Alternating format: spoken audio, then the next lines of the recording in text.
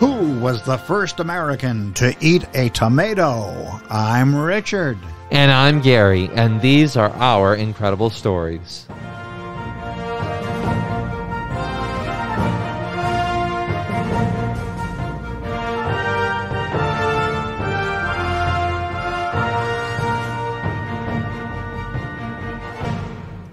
Hello, and welcome back to all of our listeners from around the world and across the United States. We are so happy to have you back with us again for some more incredible stories.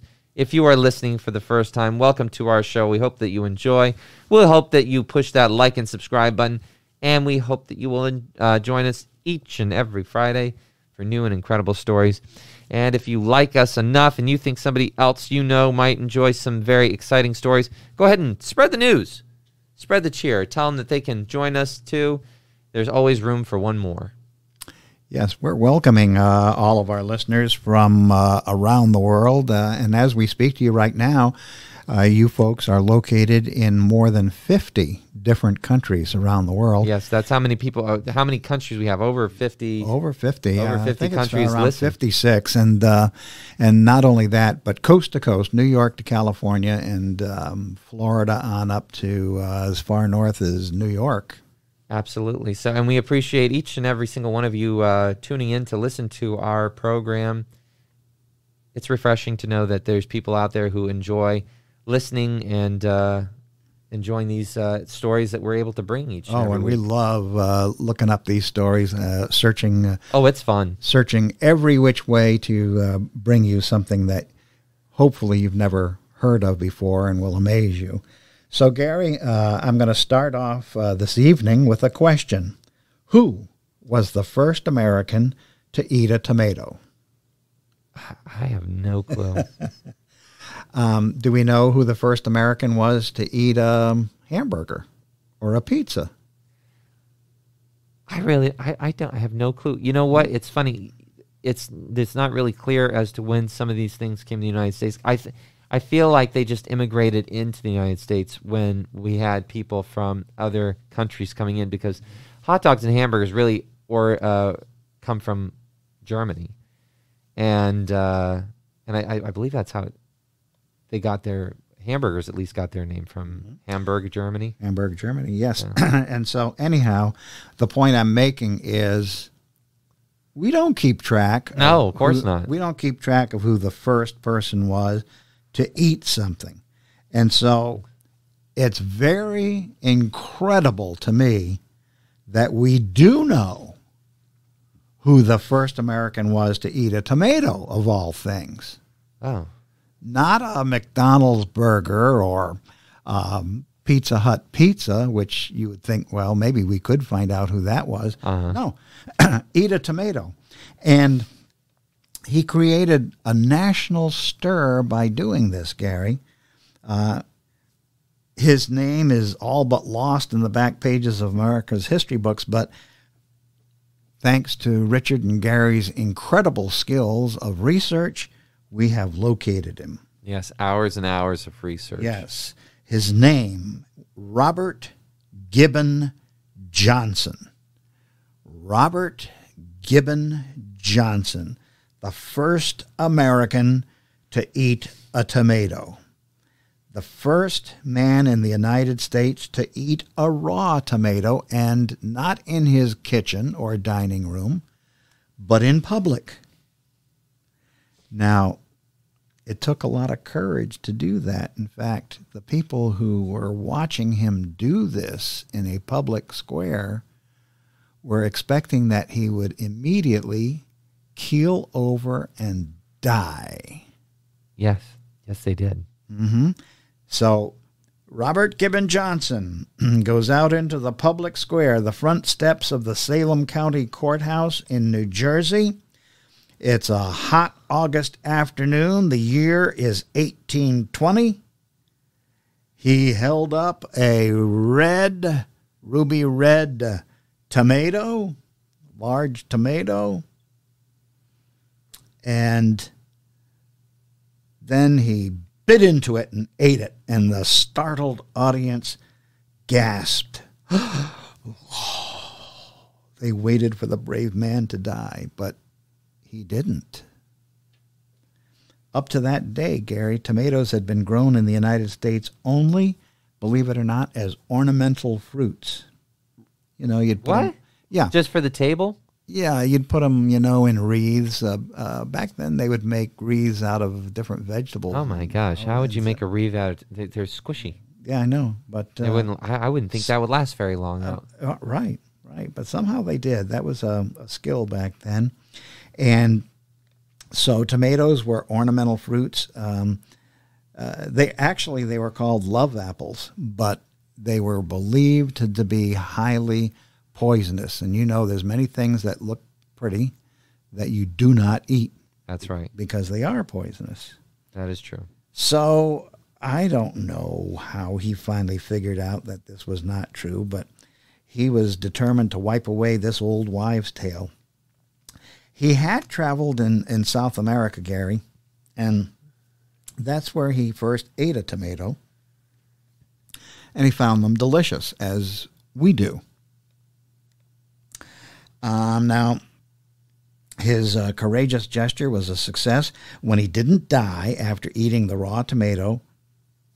Tomatoes started to become very popular. And today, thanks to Robert Gibbon Johnson, the United States is the greatest tomato eating country in the world. And Gary, it takes all kinds of heroes to make a nation, including somebody brave enough to eat a raw tomato. Isn't that something? now, I think that may have um, the the reason why it may have been seen as a poisonous plant is because uh, tomatoes are in the family of nightshade plants.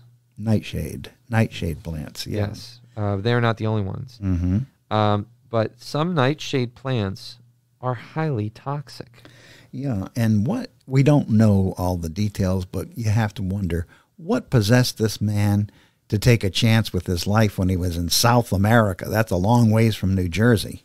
Well, I'm pretty sure if you were in a, a place where the majority of the people are eating tomatoes That's it. or plants That's and it. stuff, He must have seen And- some of the folks there eating tomatoes and, none of the people were dead, and surviving. uh the I'm pretty sure that he would have thought that that's okay. But because because it's in that family of nightshade, if you're thinking about people who um, know that the nightshade plant is poisonous, uh, and would assume that this other plant, which is in that same family, could also be Could have been, yeah. highly toxic. And that makes sense.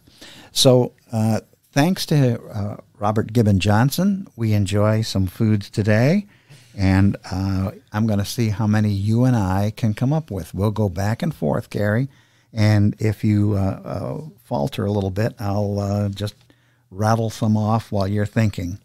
Um, so, if you'd like to start, uh, name a food that we have today that is either made out of tomatoes or uh, you know, requires tomatoes in some way uh, to become the food that we enjoy. I'm gonna go with the top one: ketchup. Ketchup, yes. We would not have ketchup today No ketchup. had it not been for Robert Gibbon Johnson Right. That's correct. uh, in 1820. I'm going to say pizza.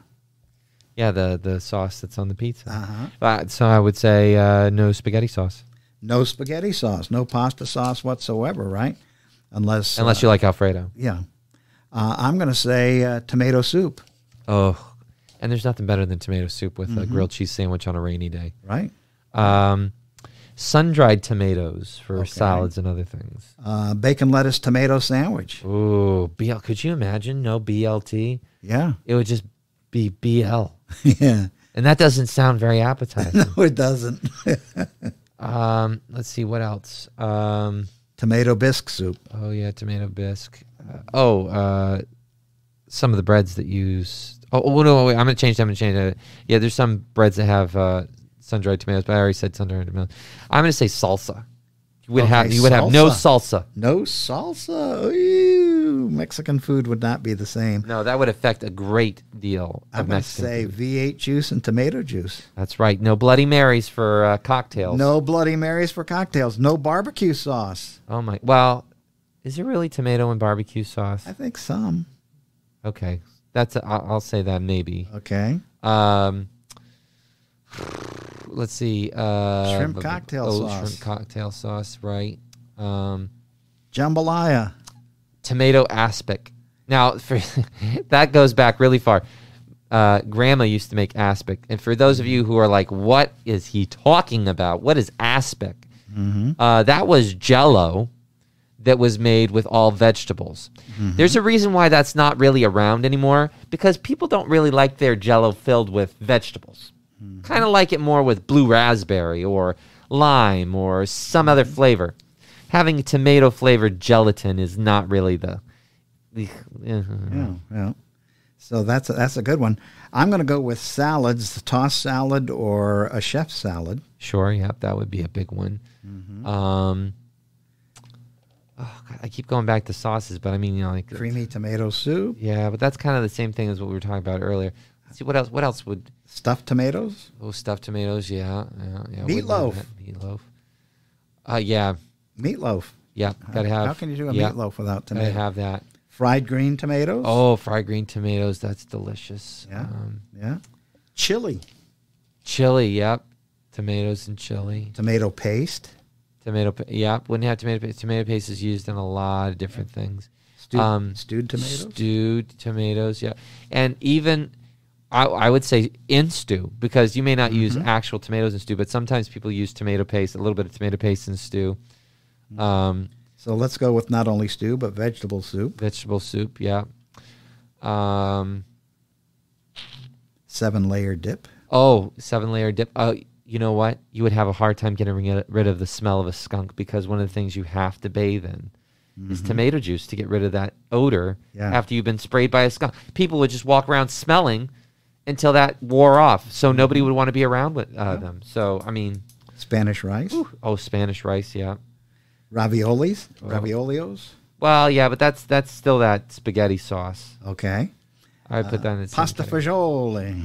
again. That still that's still Sauce. marinara, yeah. hmm have you heard of anything like a tomato pie? Tom- I was going to say no, but I think I have heard of a tomato pie. Okay. I have heard of tomato pie. Okay. It's yeah, uh, no tomato pie for anybody who eats tomato pie. Forget it. You wouldn't have it if it weren't for this man standing on the steps, putting his life at risk for everybody. Yeah. Pickled, um, pickled tomatoes are also Pickled tomatoes, yeah, you wouldn't have that. fried green tomatoes. You already mentioned that one. oh, I did. Um, So anyhow, wow. Let's just a say lot right wow. there. And I think as we've been going through this, um, you you uh, folks who are listening in, probably in your mind, you were coming up with some things too. Maybe some of the things that we um, mentioned, and maybe some things that we did not mention. Oh, I'm Uh, sure. It's a good exercise in. I wonder about this or that. Yeah. If we would have had this or that, if we couldn't eat tomatoes. So tomatoes really are an important part of our lives, I believe they are. especially uh, in in most uh, cuisines. Uh, you know, not just uh, American cuisine, but uh, European and, Yeah. and Asian cuisines. Uh, Oh, all different types of cuisines. sure, Tom- and um, South American, and so tomatoes Oh. are are worldwide. I got another one. We would never have had Attack of the Killer Tomatoes, the movie. true, true. Well, I don't know though. You could have a poisonous tomato. Well, that's true. killer- But it, it wouldn't. the Killer Tomato. it wouldn't be as good if if it were something that you already knew was dangerous versus something that you keep in your refrigerator or on your counter. Mm-hmm. You know, that would have changed the whole movie. Well, Gary, uh, all of this uh, conversation has made me thirsty, so I think uh, I'm going to have to wrap things up and go to the refrigerator and pour myself a nice cold glass of tomato juice. All right, you go ahead and enjoy that tomato juice. I'm going to stick with coffee. All right. Well, uh, it may not have been uh, an incredible story, It is but uh, incredible. it is. I think it's more fascinating than incredible. I mean, and a little bit bizarre too.